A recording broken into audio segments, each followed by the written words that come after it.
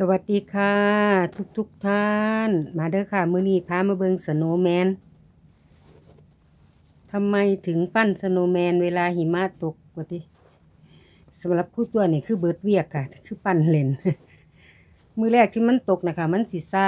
ซาซาซาแบบปั้นบ่ติดกันค่ะถ้ามื้อที่สองที่สามมามันก็ปั้นติดกันเฮาสิปั้นรูปอิหยังเฮาก็ปั้นได้ แต่บังเอิญว่าช่วงนี้ช่วง ที่ว่าหิมะตกน่ะ เพิ่นสินิยมปั้น snowman กันค่ะ ที่แรกเอาขนมปังกลมๆใส่ค่ะ อีการมาตอดกินเบิดเบิ่งหอเบิ่งหอยมันตอดดัง ดังมันเป็นแครอทค่ะ กาตอดเบิด ปั้นปั้นสองมื้อแล้วค่ะ ดูค่ะ snowman ที่ใหญ่ที่สุดมาทันแล้วค่ะ เดี๋ยวมืออื่นมาเบิ่งกัน